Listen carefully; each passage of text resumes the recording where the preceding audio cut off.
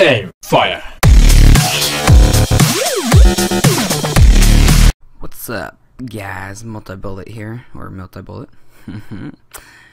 um, we're gonna be doing a mod tutorial, how to install Optifine for 1.7.10.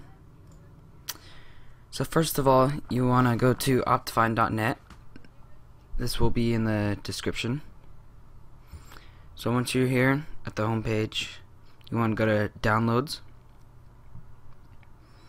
And then you can either install HD standard ultra or just light.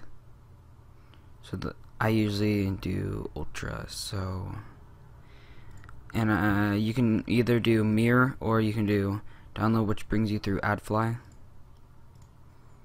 So I usually just do mirror okay and then once it's down here go ahead and drag it out to your desktop. You don't have to do this but I do this. So if you have WinRAR which you don't need to have it for this then it will automatically open it in WinRAR and you don't need that. You need to open with you right click it open with Java platform SE binary and then Optifine this this is the installer. So just hit install and it's successfully installed. That's it. So then go to your Minecraft and once it loads up then Optifine right there. Bam. That's how it's done. But yeah that's how to install Optifine so let's go ahead and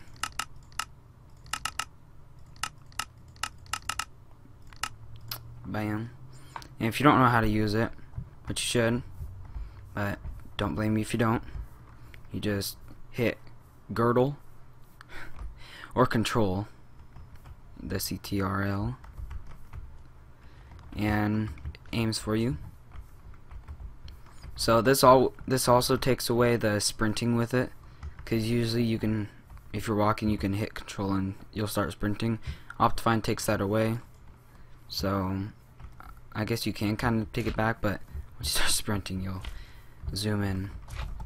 So yeah that's that's how to install Optifine for whoa holy crap okay um that so that's how to install Optifine for Minecraft 1.7.10 that's actually really how you install it for any kind of version pretty much.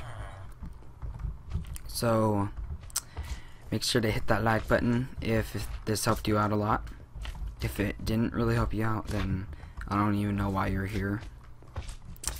So or maybe just here for the downloading. So yeah thanks guys for watching and I'll catch you in my next video. Wait this is not right. Okay. Peace